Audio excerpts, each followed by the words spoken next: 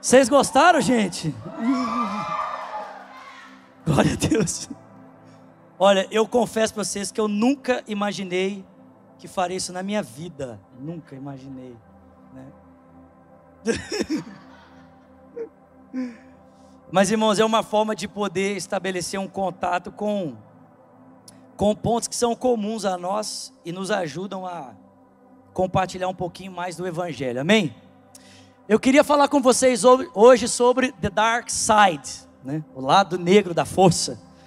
E eu queria que vocês abrissem comigo a Bíblia, por favor, em Ezequiel, Ezequiel capítulo 28. Eu vou pregar com essa roupa, irmão. Não fica olhando para mim, não.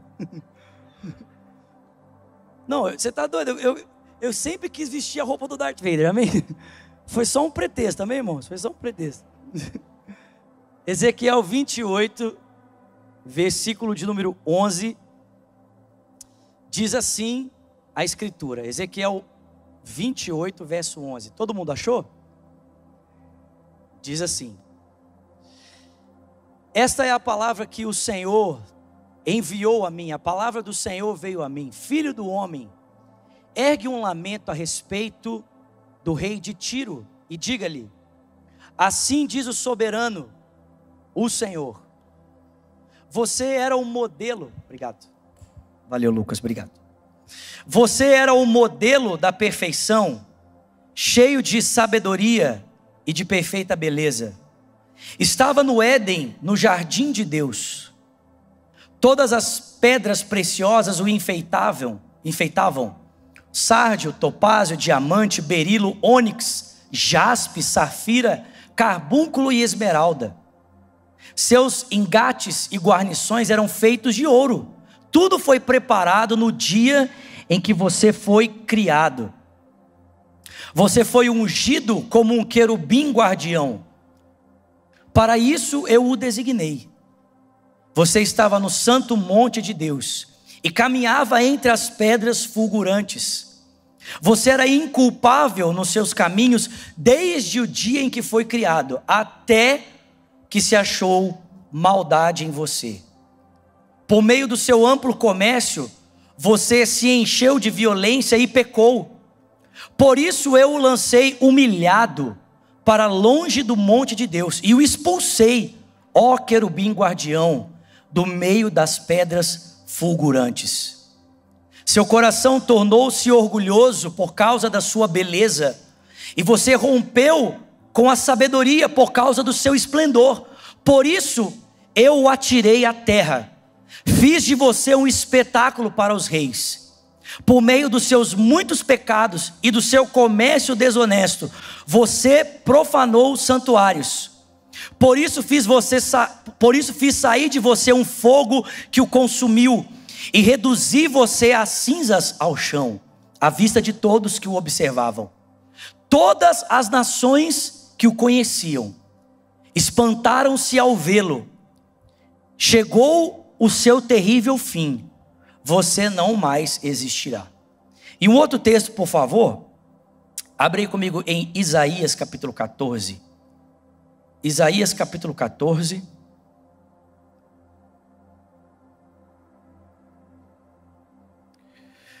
Do versículo 12 ao versículo 15. Isaías 14, verso 12 ao verso 15. Opa,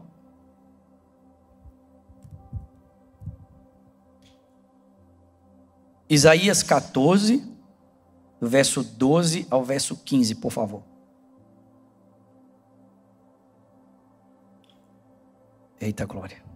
Vou mover essa tampinha com a minha força. Isaías 14, verso 12 diz: Como você saiu dos céus, oh, perdão, como você caiu dos céus, ó estrela da manhã, filho da alvorada, como foi atirado à terra, você que derrubava as nações. Você que dizia no seu coração: subirei aos céus, erguerei o meu trono acima das estrelas de Deus, e me assentarei no monte da assembleia, no ponto mais elevado do santo monte. Subirei às mais altas alturas, às mais altas nuvens, e serei como o Altíssimo. mas às profundezas do Sheol você será levado, irá ao fundo do abismo. Pai Celestial, fala conosco nessa noite, nós queremos ouvir a tua voz. Deus, que nesse tempo, nessa série que a gente está estabelecendo, esse ponto de contato a partir da cultura para levarmos as verdades do Evangelho, seja um tempo, Senhor, em que sejamos impactados, que as verdades eternas encontrem um lugar especial no nosso coração. Ajude, meu Pai, eu te peço nessa noite a compartilhar a tua palavra com leveza, com alegria, mas também com autoridade ao coração dos meus irmãos. Te peço isso em nome de Jesus e quem crê, diga amém. Glória a Deus. Vocês estão comigo aqui? Pessoal, todos nós fomos criados por causa da missão. Diga comigo, eu fui criado por causa da missão. Preste atenção, a missão não foi criada por sua causa. Você foi criado por causa da missão de Deus, amém? A missão de Deus demandou o seu nascimento. Você existe por causa do propósito. Não é o propósito que existe por causa do seu nascimento, mas você veio a existir por causa do propósito de Deus. Sendo assim, todo ser humano carece, precisa de um senso de propósito. Todo ser humano precisa conhecer o seu senso de chamado. Nossa vida requer uma missão maior do que nós. Amém? Deus nos fez para vivermos estimulados e motivados por causa da missão dele, por causa do seu propósito. Ele deseja que cada um de nós possa cumprir a sua missão, a missão pela qual ele nos criou. Ele deseja ver com que a realização dessa missão em nós gere alegria, gere entusiasmo, gere empolgação. Mas a verdade é que se nós não abraçamos a missão de Deus e o propósito para o qual Ele nos criou, se nós não abraçamos a missão de Deus e a Sua vontade, a verdadeira missão, nós vamos abraçar uma missão sombria. E eu vou chamar essa missão sombria nessa noite de dark side. Nós vamos abraçar o lado escuro, vamos abraçar essa missão oculta, essa missão sombria. E eu vejo que todos nós, todos nós aqui e daqueles que nos assistem, todos nós somos tentados a corrermos esse perigo de abandonarmos a missão de Deus e vivemos essa missão secundária, essa missão sombria, esse dark side. Todo ser humano, preste atenção, todo ser humano que já viveu, mas especialmente para nós aqui, que vivemos na América, nós vivemos em um lugar de tantas oportunidades, de tantas possibilidades. Vivemos em um lugar que disponibiliza para todos nós um potencial enorme de realizarmos tantas coisas, de tocarmos o mundo de mudarmos a vida de pessoas, de adquirirmos bens e riquezas, fazemos o que todo tipo de sonho possa se tornar uma realidade. Mas também nesse lugar da oportunidade nós podemos perder de vista o plano de Deus e vivemos no modo dark side. E abraçarmos uma outra missão que não é a missão de Deus. Todos temos uma missão. Agora pense em como a América seria se cada cristão decidisse na sua vida e na sua história viver a missão de Deus. Ou pense como Lagoinha seria se cada um de nós decidisse abraçar intensamente a missão, o plano e o propósito de Deus. Vocês estão comigo aqui? Pense em como, irmãos, as nações mudariam, ou pense em como o Brasil mudaria. O Brasil hoje tem aproximadamente um terço da sua população que é evangélico. Pense, irmãos, em um terço da população brasileira assumindo a missão de Deus e a levando a sério, o que você acha que aconteceria com o Brasil? Vocês estão comigo aqui? Quando eu falo sobre viver o lado sombrio, quando eu falo sobre viver o dark side, eu quero que você entenda que o dark side, esse, esse lugar sombrio, está entre o cristão que eu sou e o cristão que eu deveria ser. O lado sombrio está nesse gap entre o que eu sei que deveria ser e o que eu estou sendo. O dark side, o, o lado sombrio está em eu saber como o mundo deveria ser e como ele é, e ainda assim eu me recuso a participar de Deus, da missão de Deus para transformá-lo. Vocês estão comigo aqui? Quem é fã de Star Wars aqui? Presta atenção. Anakin Skywalker. Ô oh, glória. Tô brincando. O Anakin Skywalker, irmãos, foi um dos maiores Jedi da história. A sua origem é num planeta humilde chamado Tatooine. E ele acaba sendo encontrado por dois Jedi, né? um chamado Wan e um chamado Obi-Wan, em uma missão. E esses Jedi levam o Anakin para a capital da república chamada Coruscant. O Wan, que é o Jedi mais velho nessa época, decide levar o Anakin porque ele acredita que o Anakin é o cumprimento de uma profecia. Existia uma profecia, né? existe uma profecia no, nos cânones é, de Star Wars, que diria o seguinte: que um dia nasceria um Jedi, e esse Jedi traria o balance, traria equilíbrio à força. E o King Gon acredita, quando ele encontra com o Anakin, que o Anakin é esse Jedi que vai trazer o equilíbrio, o balance para a força. Vocês estão comigo aqui? Após anos de treinamento e de luta ao lado da República, o Anakin Skywalker trai a ordem Jedi. E ele passa então para o lado sombrio da força. E a pergunta é: o que que fez o Anakin deixar né, o lado bom, o seu good side, so good? tá bem? O que que fez ele deixar o seu lado bom e caminhar para o lado negro da força? E a maioria do pessoal que estuda Star Wars, não acredito que vocês vão fazer. Obrigado. Agora, não, agora sim, igreja, agora. Não, vou, pelo amor de Deus, vamos aplaudir a produção, pelo amor de Deus. Não, agora. Tá doido aí.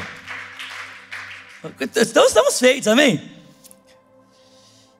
Pessoal que estuda Star Wars acredita, gente, que o grande catalisador, o grande pilar para a traição do Anakin era o seu medo da perda.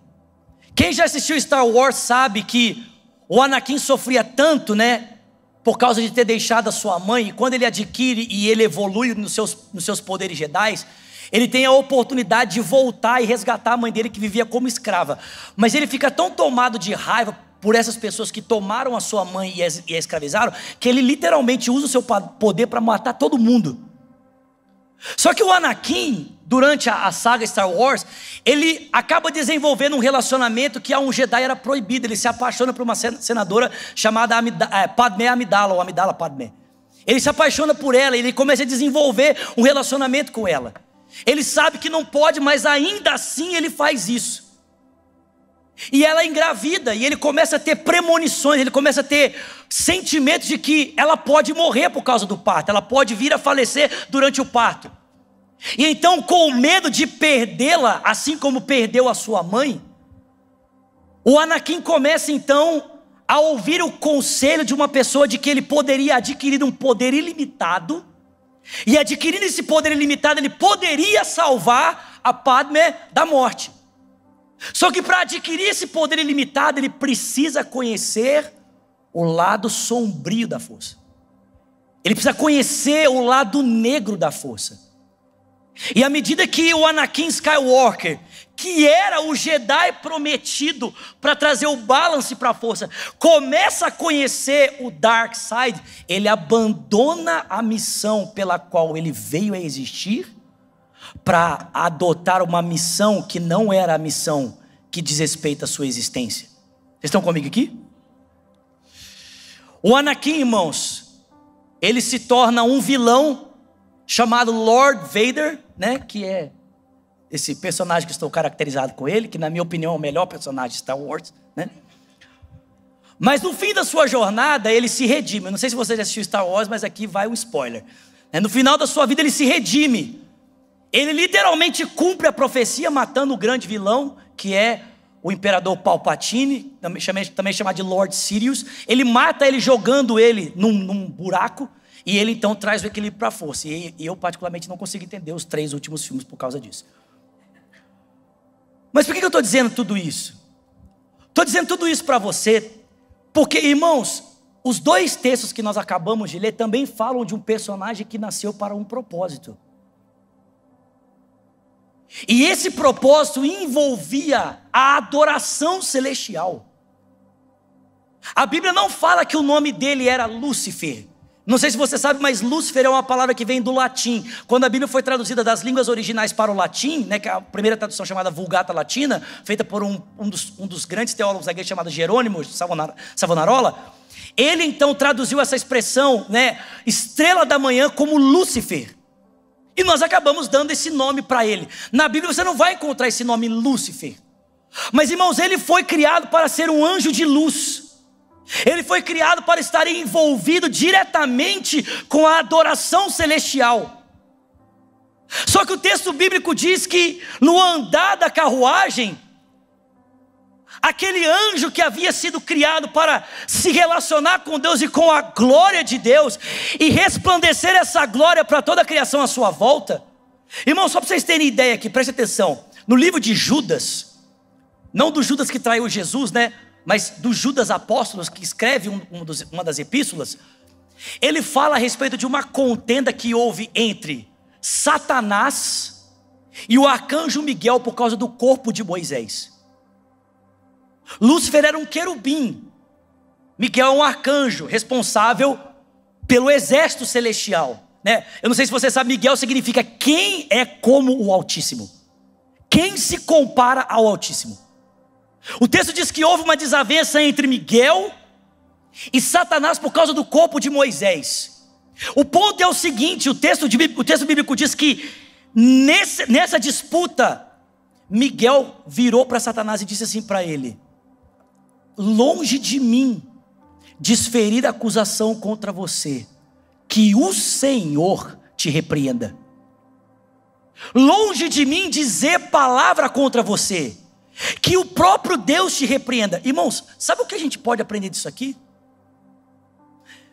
O contexto dessa passagem falam de pessoas que estavam na igreja usando de textos apócrifos, textos que não são bíblicos, para questionar a liderança das pessoas da igreja. As pessoas usavam textos fora do, do cânone bíblico para questionar a autoridade apostólica, a autoridade dos líderes das igrejas. E aí Judas toma essa passagem e ele diz: Olha só, o próprio anjo Miguel, mesmo quando esteve diante de Lúcifer ou de Satanás, que ele sabia que era uma autoridade, ele não ousou usar palavras nem contra o próprio Satanás para questionar a autoridade dele. Ele mandou que o próprio Deus o repreendesse. Irmão, sabe o que a gente aprende aqui? É que na hierarquia celestial, o maior anjo era quem? Era Satanás, era Lúcifer. Ele era o maior de todos. Ele foi criado para ser o modelo, o padrão, para resplandecer a glória de Deus. Só que o texto bíblico diz para mim e para você que na multiplicação do seu comércio, o coração dele se encheu de soberba. Aquela glória, aquela beleza, a posição, e tudo que Deus o havia criado para ser e o deu para cumprir o propósito, tudo aquilo, tudo aquilo mudou a motivação do seu coração, tudo aquilo mexeu com ele. E ele não quis mais ser o primeiro para Deus. Que você entende isso?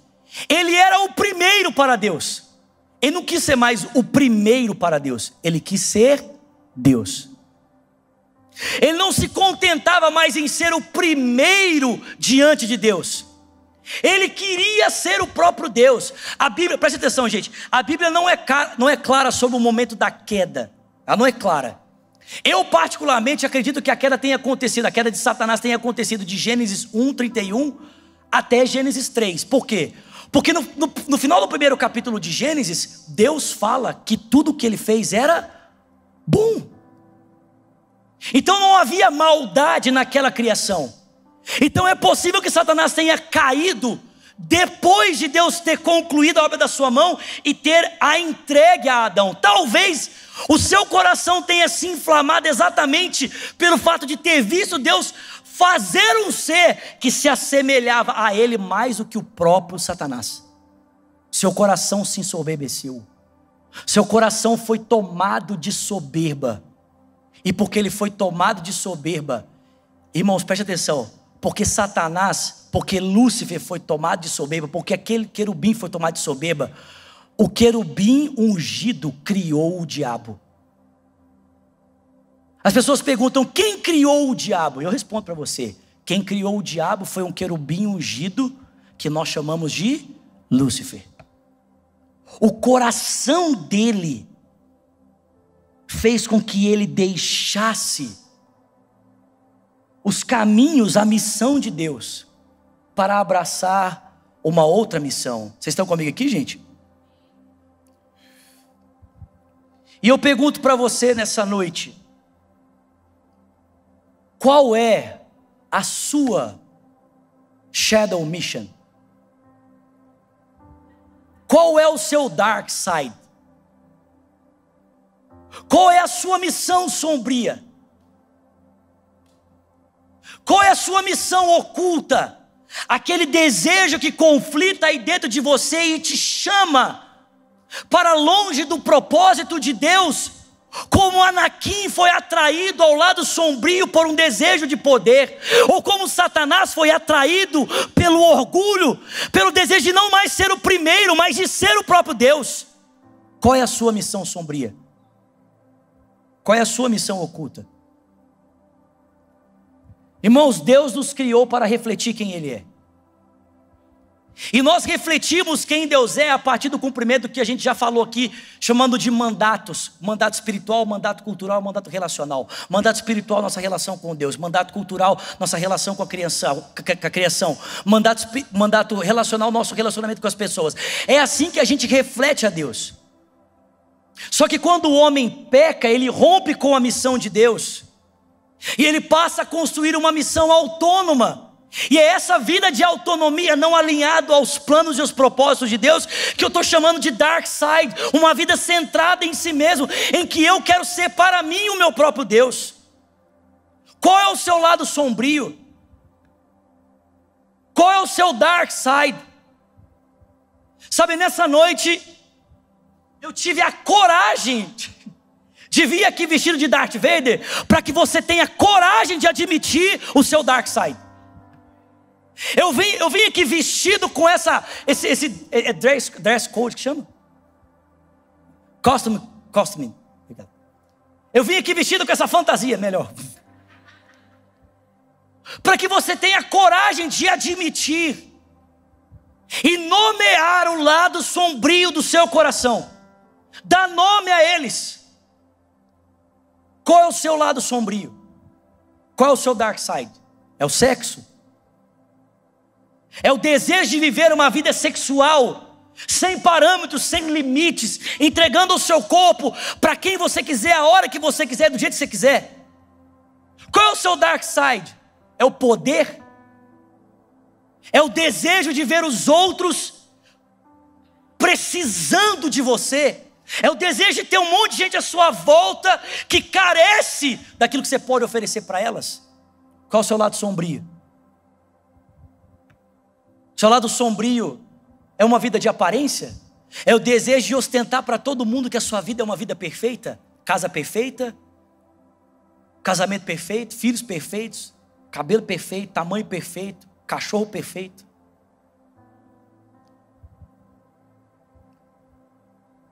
Qual é o seu, qual é o seu dark side? É o desejo de passar por cima de qualquer pessoa para você ter aquilo que você quer? Para conquistar o que você tanto deseja? Sabe, eu acho que de todos os, os caminhos escuros, vocês estão comigo aqui, gente?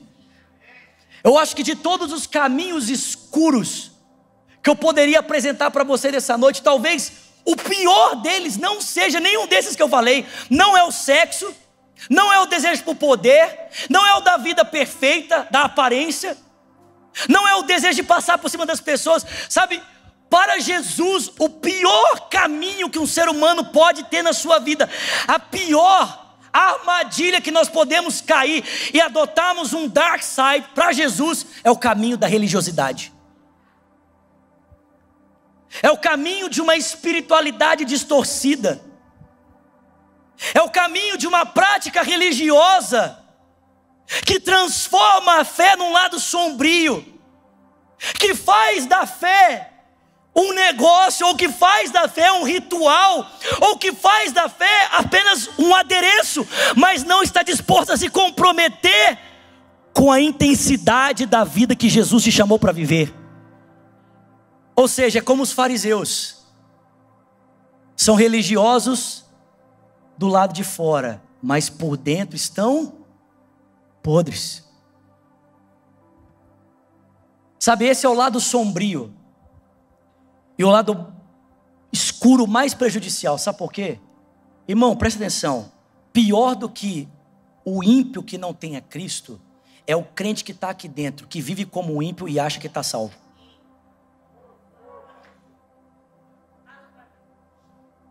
Vou repetir. Pior do que o ímpio que está perdido e que vive em pecado é o crente que está aqui dentro, que vive como ímpio e pensa que está salvo. Porque ele bate no peito e fala assim: Não, eu sou, eu sou, eu sou filho de Abraão. Faz igual os fariseus: Não, eu tenho relacionamento com Deus, mas onde está esse relacionamento que não se manifesta na sua vida? Você se engana vestindo a roupa de crente, mas irmão, preste atenção: Cristianismo não é sobre vestir uma roupa, é sobre ter uma vida transformada, é sobre ter um caráter mudado, é sobre se tornar parecido com alguém e não se vestir igual a ele. Esse é o pior caminho, irmãos, de todas as pessoas com quem Jesus se encontrou e a todas a quem ele pregou. Ele não foi tão duro com outro grupo como ele foi com o grupo dos fariseus, dos religiosos.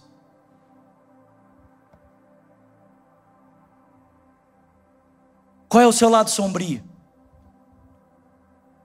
Qual é o seu lado escuro? Será que você tem coragem de admitir para você mesmo que você tem um lado sombrio, que você tem um lado escuro?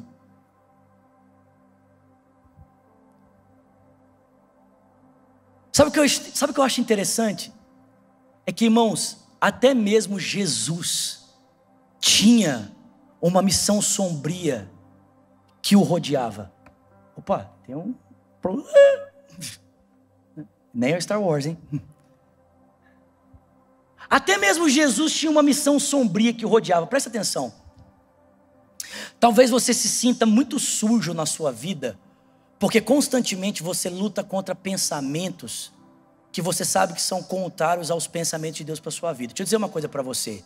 Isso, isso aqui é uma frase de Charles Spurgeon. Charles Spurgeon dizia o seguinte: se Jesus, o homem mais santo e mais puro da terra, não esteve isento de ter pensamentos na sua mente que eram contrários aos pensamentos de Deus, por que, que você acha que você não vai ter esse tipo de pensamento na sua mente? Irmãos, preste atenção, até Jesus teve que lidar com esse negócio da missão sombria, do seu nascimento até a cruz. Jesus foi constantemente desafiado por Satanás e às vezes na boca até dos seus discípulos a abandonar a missão de Deus para abraçar uma missão que não era a missão do Pai para ele. Em Mateus capítulo 4, no deserto, você conhece esse texto? Satanás se aproximou de Jesus para dizer para ele: Você é o filho de Deus? Na sua vida e na sua missão, o sofrimento não precisa estar inserido. Você pode ser um Messias sem cruz, você pode ser um Messias sem dor, você pode ser um Messias sem sofrimento. E Jesus disse: Não caminhando para os seus discípulos, se aproximando do tempo em que ele entraria em Jerusalém para ser crucificado. O texto diz em Mateus 16 que ele vira para Pedro e para os demais e diz: Eu vou para Jerusalém, eu vou ser morto, vou ser crucificado, vou ser pregado numa cruz. As pessoas farão isso comigo, me entregarão nas mãos das autoridades, mas ao terceiro dia eu vou ressuscitar. É necessário que isso se cumpra. Pedro vira para ele e diz: Isso de forma nenhuma te acontecerá. E Jesus na mesma intensidade da resposta de Pedro, ele dá a tréplica: Afasta-te de mim, Satanás. Porque você fala das coisas que são pertinentes aos homens, porque não conhece aquelas que são de Deus. E irmãos, imagina no jardim do Getsemane. Talvez um momento em que a missão sombria estava tão presente ali. Eu gosto de um, um, um teólogo da história da igreja chamado Dietrich Bonhoeffer. Tem um livro dele, é muito pequenininho, vale a pena você ler. Chama Tentação. O Dietrich Bonhoeffer fala sobre esse livro, falando sobre tentação nesse livro, ele fala o seguinte: que a tentação, irmãos, é o momento em que Satanás parece mais real para nós do que Jesus. A tentação é o momento que, que Satanás parece mais presente do que o próprio Deus. Irmãos, imagine aquele momento em que o Filho de Deus estava ali com seus joelhos dobrados naquele jardim que era comum a ele, o lugar de oração, os seus poros transpirando sangue e ele percebendo que a missão sombria se aproximava, ou seja, o desejo de negar a cruz e abraçar um caminho mais fácil, mas ele se curva a vontade do Pai, dizendo: Pai, se possível, passa de mim esse cálice, todavia não seja feita a minha, mas a tua vontade.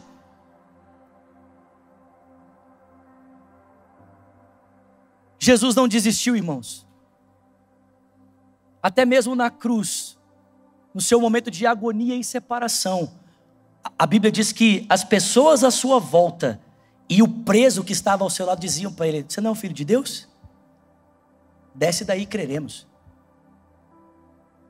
E Jesus permaneceu em silêncio. Qual é o seu lado sombrio?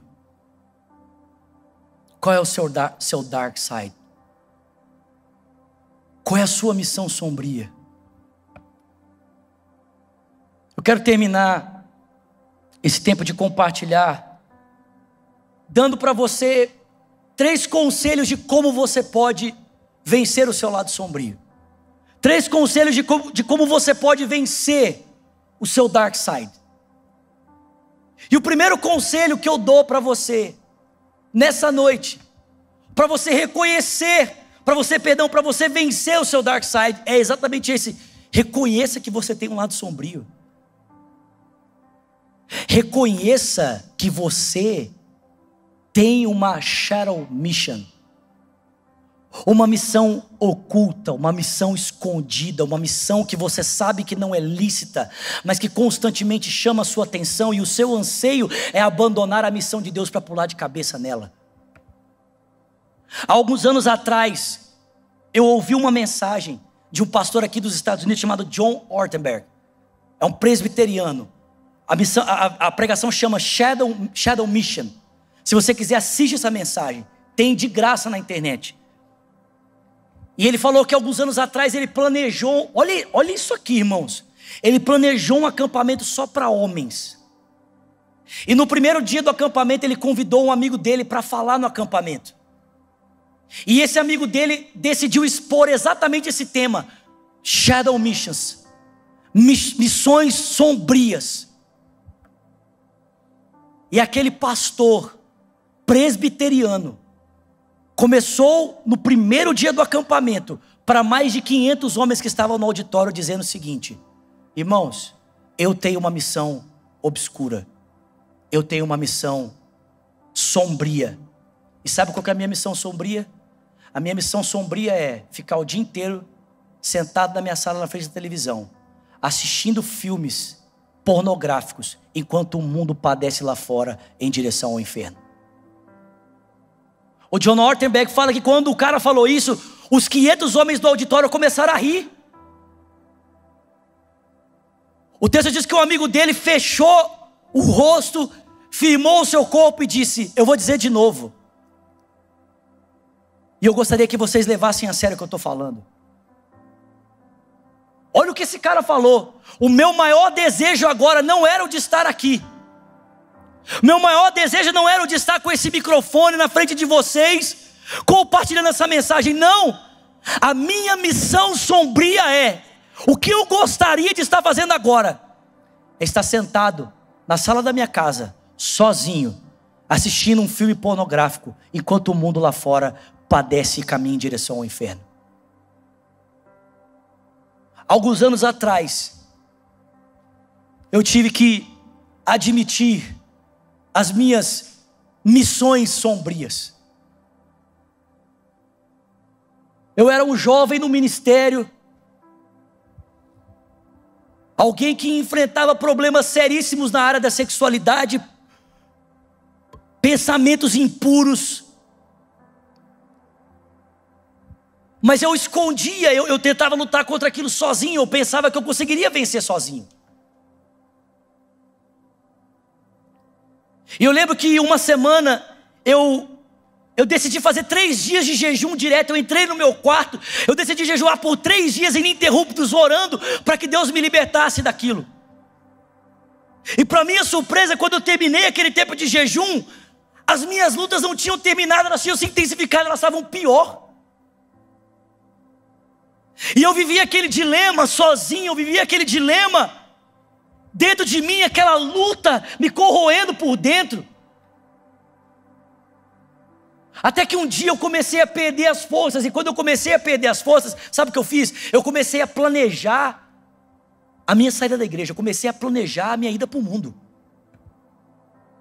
Eu comecei a tentar fazer amigos que eram fora da igreja. Comecei, irmãos, eu literalmente comecei, eu já estava no ministério, eu já era pastor, mas eu comecei a tomar alguns passos, algumas decisões para que eu conseguisse me livrar desse peso da responsabilidade e viver a missão sombria do meu coração, ou seja, me satisfazer sexualmente da forma como eu quisesse, na intensidade que eu quisesse, com quem eu quisesse, na hora que eu quisesse. Eu lembro que um dia eu decidi sentar com um amigo meu, hoje ele é missionário na, da Colômbia, chama Ramiro. Ele ainda era solteiro. E ele teve um tempo que ele saiu da igreja, mas Deus o resgatou com graça e misericórdia. Mas eu lembro que eu fui até o Rio para fazer uma ministração no meio desses conflitos todos. E eu falei, Ramiro, cara, eu não, eu não aguento mais, mano. Eu, eu preciso dar um tempo. Eu vou cair do mundão. Cara, eu vou chutar tudo e depois eu volto. O Ramiro virou para mim e falou assim: Quem te garante que você vai voltar? Quem garante que quando você der esse passo, você volta? Você? Fozulato, eu já estive lá. Eu já estive lá, Zulato. Não faz isso com a sua vida. Irmãos, a minha vida começou a mudar quando eu comecei a admitir para mim mesmo que eu tinha projetos obscuros no meu coração que iam contra os projetos de Deus. Segundo, a minha vida começou a mudar, nós começamos a ganhar poder para vencermos as nossas missões sombrias. Quando nós decidimos não vencê-las sozinhas, mas quando a gente decide compartilhar com outras pessoas. O Igor foi uma das pessoas que participou do meu processo de decisão para me casar. O Igor é uma pessoa que sabe as lutas que eu enfrentei durante esse processo para me casar com a minha esposa. Não porque eu não queria me casar com ela, pelo contrário, eu queria muito. Mas irmãos, eu tinha tantas lutas e desafios internos que era quase impossível a minha visão transpô-los para adquirir uma família. Eu fui algumas vezes a São Paulo, e nessas vezes que eu tive em São Paulo, eu, eu tive a liberdade de expor a minha vida por Igor, de pro Igor, de falar das minhas lutas, de falar dos meus problemas, de falar dos meus dilemas, das minhas frustrações, daquilo que batia dentro de mim. Eu lembro uma vez, eu fui ministrar, eu, eu era solteiro, isso já faz muitos anos, eu era solteiro, eu fui ministrar no Espírito Santo. E eu lembro que à noite, quando eu voltei para o hotel, depois de um culto extremamente abençoado, eu liguei a televisão e eu comecei a zapear para ver se eu encontrava alguma coisa. E estava passando um filme bem complicado. E eu fiquei ali. E eu lembro que no outro dia pela manhã, esse meu amigo que havia me convidado para ministrar, chama Daniel, ele veio me buscar no, no, no hotel para me levar para o aeroporto. E eu falei com ele, Dandan, cara, eu, eu tenho uma coisa para confessar para você. Eu preciso de ajuda. Eu já era noivo da Virgínia, nós já estávamos, não, nós éramos namorados. Eu também fui ministrar num outro lugar. Acho que a gente era noivo. Não lembro exatamente, mas eu fui ministrar num lugar. E eu lembro que eu voltei pro hotel a mesma coisa. Voltei pro hotel, tomei meu banho, decidi ligar a televisão e mais uma vez estava eu lá vendo um filme esquisito. Não era um filme pornográfico, mas também não era um filme lícito, amém, irmãos? E eu lembro que eu fiquei ali, me alimentando daquilo. E quando foi no outro dia que eu liguei para conversar com a Virgínia, eu falei: Vida, eu preciso que você ore por mim. Irmãos, foi horrível falar isso para minha esposa. Horrível. Foi horrível quando eu tive que admitir para minha esposa que eu tinha problemas com os meus olhos, que eu precisava de ajuda, porque eu não conseguia controlar os meus olhos. Às vezes eu estava olhando para lugares que eu sabia que eu não deveria estar olhando. Mas posso dizer uma coisa para você: se eu venço nessas áreas da minha vida hoje, é porque eu tenho pessoas que estão me ajudando. Se eu venço nessas áreas da minha vida, é porque eu tenho pessoas que se importam comigo, que se preocupam comigo que me ligam perguntando como é que você está, como é que está o seu casamento, como é que estão tá os seus olhos, Olato. Eu tenho um amigo meu que me ligou a semana passada, chama Rafael Pijama. Ele me mandou mensagem e falou: Cara, Deus não tira você do meu pensamento. Você está bem? Você e eu precisamos de pessoas gente com quem nós vamos abrir a nossa história e que estenderão as mãos na nossa direção para dizer: Eu te ajudo a caminhar, eu te ajudo a vencer a sua missão sombria. Ela não me espanta, como Luke Skywalker fez com o pai dele, amém? e por último, irmãos, você quer vencer o seu lado sombrio, sua missão sombria? Você precisa se render a Deus.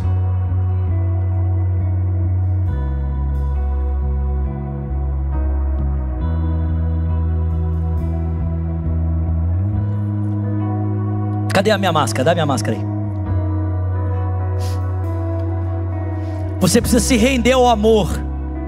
Você precisa se render a Deus. Sabe como que o, o Vader Vocês estão me ouvindo certinho? Estão me ouvindo? Vocês estão me ouvindo? Sabe como o Vader conseguiu deixar de ser o pior vilão da galáxia para cumprir a profecia e trazer o balance?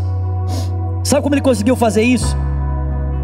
Ele conseguiu fazer isso porque o filho dele, o Luke Skywalker, recusou-se lutar com ele e decidiu vencê-lo pelo amor. Nos filmes, o Luke joga o seu sábio de lado e ele fala: Pai, eu não vou lutar com você. Você pode fazer o que você quiser comigo. Eu não vou lutar com você. E aquele amor do filho pelo pai foi ferindo ele tanto, foi ferindo ele tanto, que quando Luke Skywalker se vê numa situação de perigo e morte, o Vader então vai, toma o Lord Sirius e mata ele para salvar o seu filho, para preservar o seu filho. E a primeira coisa que ele faz, quando o coração dele é quebrado, é tirar a máscara e deixar o filho dele olhar ele nos olhos e se render àquele amor que agora estava mudando a vida dele. Irmãos, se nós queremos vencer o nosso lado sombrio, nós precisamos nos render a Deus. Sabe, o amor de Deus é um amor que vai nos constrangendo, vai nos tocando, vai nos incomodando. E muitas vezes, como ovelha, nós ficamos ali tentando resistir, mas chega uma hora que esse amor nos vence, e quando esse amor nos vence, só nos resta uma coisa a fazer: que é dobrarmos os nossos joelhos, tirarmos as nossas máscaras, deixarmos Deus olhar nos nossos olhos e sermos vencidos pelo amor dEle, sermos vencidos pela Sua graça, sermos vencidos pela Sua misericórdia, sermos vencidos pelo Seu coração.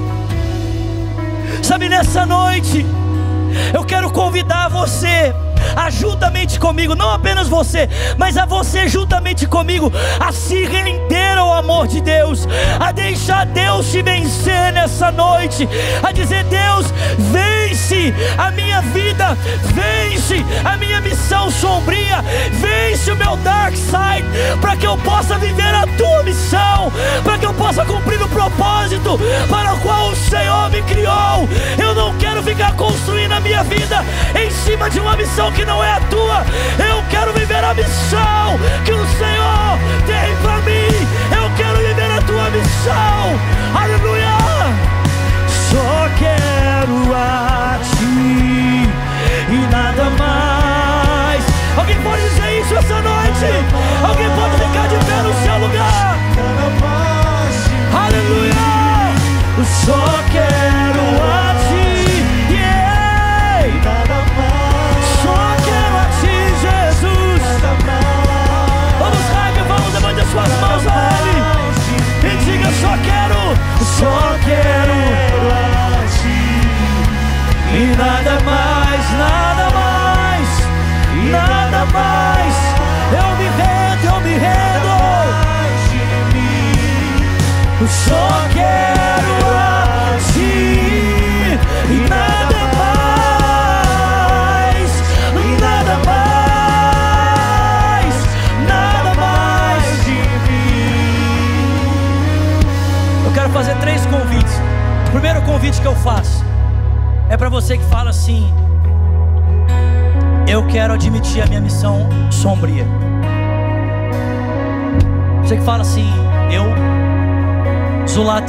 identifico, eu me identifico com você.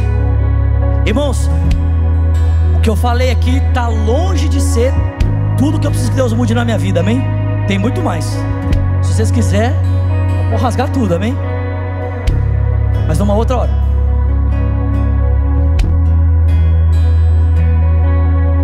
Talvez você precise disso nessa noite.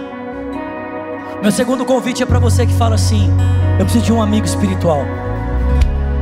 Preciso de um amigo que vai me ajudar.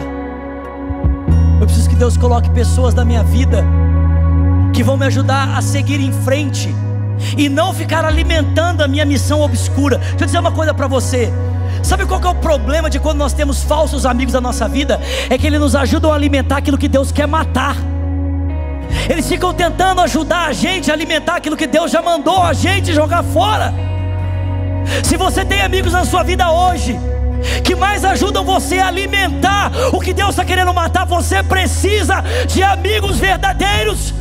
Você está cercado, na verdade, de falsos amigos que batem nas suas costas e dizem para você, para você seguir um caminho que no fundo e no final vai levar você para a morte. Eu preciso de amigos espirituais. Esse é o meu segundo convite.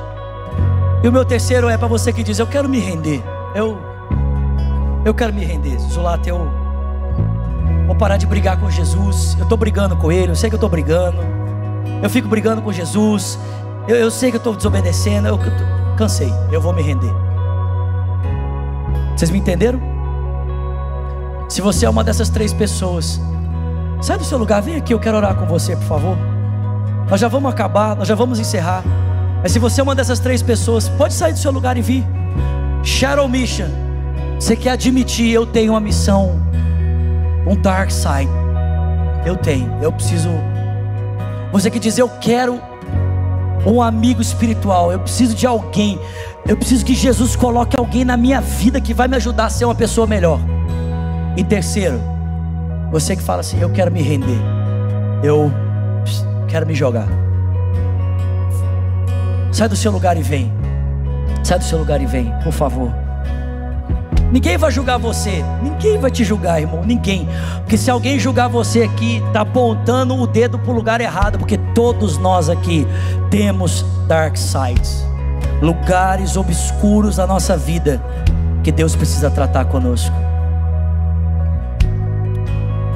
Pai Celestial, Sai do seu lugar e vem mesmo, querido. Vem, vem, vem mesmo, vem, vem. Na, na minha opinião, eu, pobre, ser mortal vestido de Darth Vader, amém? Eu acho que todo mundo tinha que estar aqui na frente. É minha opinião, assim, mas eu, é só o que eu acho. Né?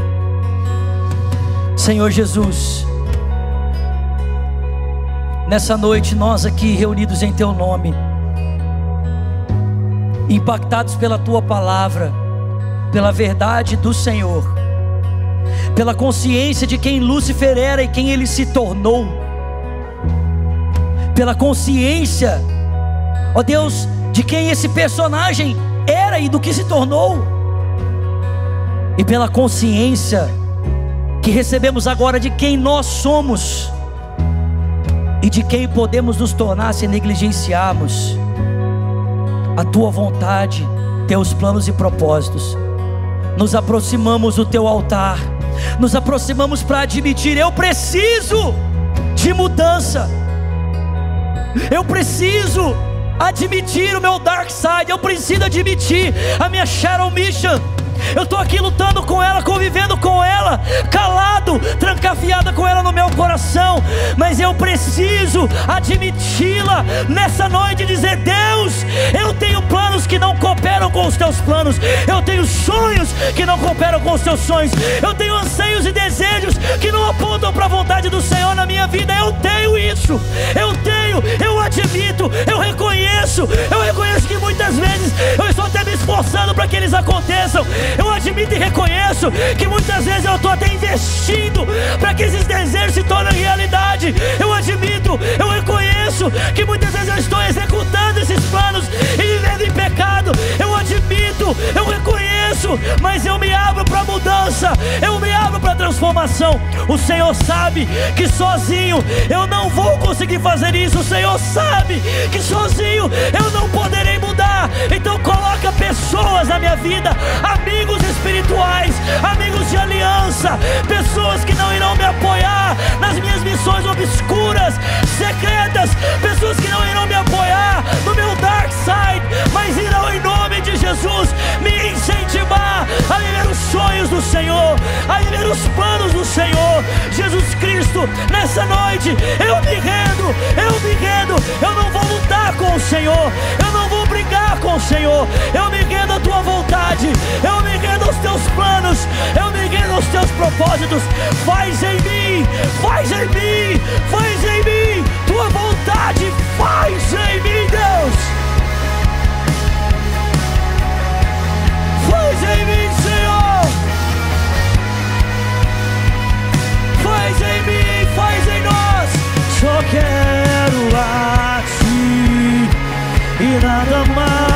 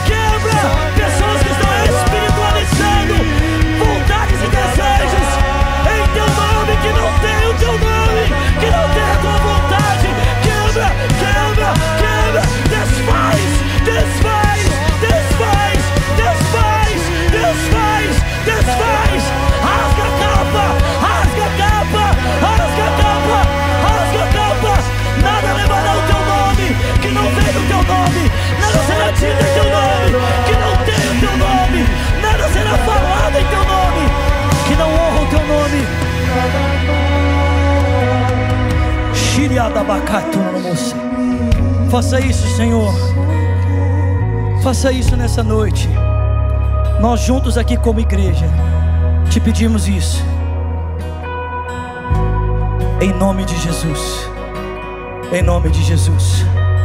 E que a graça do nosso Senhor Jesus Cristo, o amor de Deus Pai, a comunhão e o consolo que vem do Espírito, seja com o povo de Deus, aqui e espalhada em toda a terra, desde agora e para sempre.